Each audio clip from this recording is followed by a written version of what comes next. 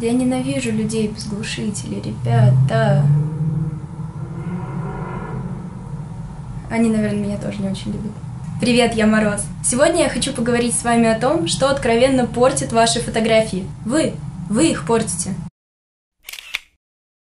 В последнее время я начала активнее погружаться в российское фотокомьюнити, которое включает в себя в том числе определенные сайты и определенные паблики, где начинающие и не очень авторы постят свои работы. И, конечно, везде есть очень крутые ребята, которые делают хорошие съемки и по качеству картинки, и по качеству идеи. Не всегда это, правда, уживается в одном авторе, и ты просто смотришь и оргазмируешь глазами. Но в какой-то момент я поймала себя на том, что периодически я впадаю в состояние недоумения. Это не испанский стыд, и нежелание пробить себе лоб рукой. Это искреннее удивление по типу «Что ты делаешь? Зачем ты это делаешь? Что тобой движет?» Это примерно как увидеть, как на кроссовый мотоцикл вот прямо посередине на крыло кто-то пытается приклеить огромного плюшевого зайца. И это не вызывает у тебя никакого негатива, но вызывает желание разобраться.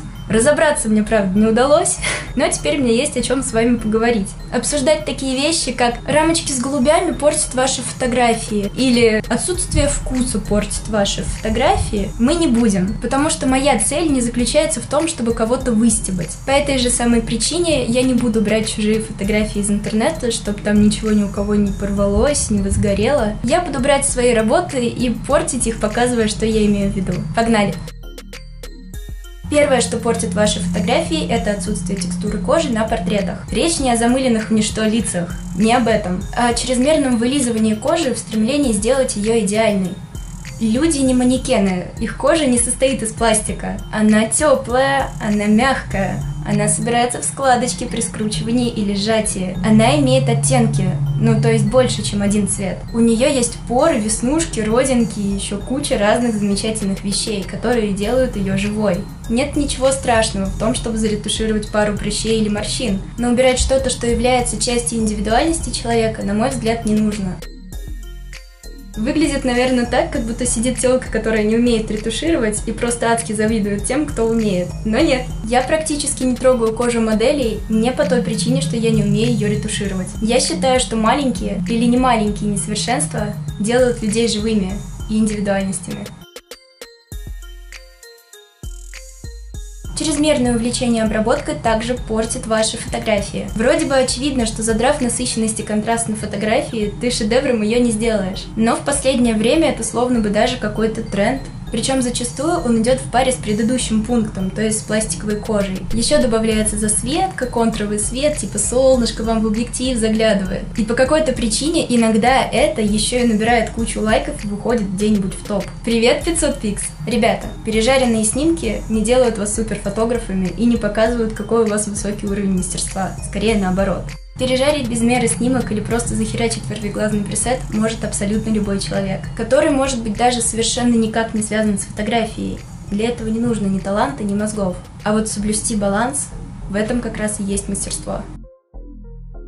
Третье. HDR. Да, в 2019 году он все еще существует. По какой-то причине. Конечно, его масштабность и насыщенность далеко не такие, как, например, 5 лет назад. Но стремление увеличить динамический диапазон все еще живо в нашем брате. Выглядит это обычно примерно вот так. Я не буду долго задерживаться на этом пункте, здесь нечего разжевывать и долго объяснять, вы сами все прекрасно понимаете, но и промолчать тоже было нельзя. Четвертое, что портит ваши фотографии, это дешевый и несоответствующий месту реквизит. Я не говорю о том, чтобы тратить на реквизит всю зарплату, жить в палатке во дворе и жарить голубей на ужин. Вы можете сделать офигенный фотофон из дешевых дисков по 5 рублей или дать модели кружку за 30. Вы можете снять прекрасный букет бесплатных полевых цветов в конце концов. Дело не в стоимости предметов, которые вы используете, а в их соответствии. Например, ваш снимок это красивая историческая стилизация или так называемый портрет вне времени. Модель сидит за дубовым столом, держит держит в руках глиняный кувшин. Из окна падает мягкий косой свет, в воздухе видна пыль. Идиллия, правда? Знаете, как ее испортить? Блеском полиэстера. В принципе, блеском любой дешевой синтетической ткани. Причем бывает синтетика, которая выглядит в кадре хорошо, вот примеры, но бывает та, которая видно, что выглядит плохо, как ты ее не сними. Да, здесь мне все-таки пришлось использовать фотографии из интернета, но каталожка не в счет. Еще люблю, когда делают какую-то luxury съемку там в студии в Москва-Сити, берут всю такую сеху модель и надевают на нее какой-нибудь дешевый блестящий лифак. И вот прям видно, что он стоит 300 рублей, а атмосфера luxury. Такие вещи портят снимки, ребят. Фактически мы снова в какой-то мере возвращаемся к первому пункту. Текстура очень важна, и в хорошей фотографии она должна быть. Шероховатая бечевка, вязаный свитер, колосья пшеницы, замшевая куртка. Даже если вы не кинестетик, это уже звучит для вас хорошо, приятно и уютно. Это и показывайте в своих работах. И пятое, что портит ваши фотографии, это попытка закосить стилем или обработкой под другого автора. Я думаю, вам будет намного приятнее, если зрители будут узнавать вас как Я думаю, вам будет намного приятнее, если вас будут узнавать. Если у зрителей при взгляде на ваши работы будет реакция типа «Блин, это же Марина Коробкина! Это же Роман Стольников!» Но никак не «О, еще один чувак под Сафина косит!» Я уверяю вас в том, что вы достаточно самобытны и талантливы, чтобы быть собой, а не очередной копией кого-либо.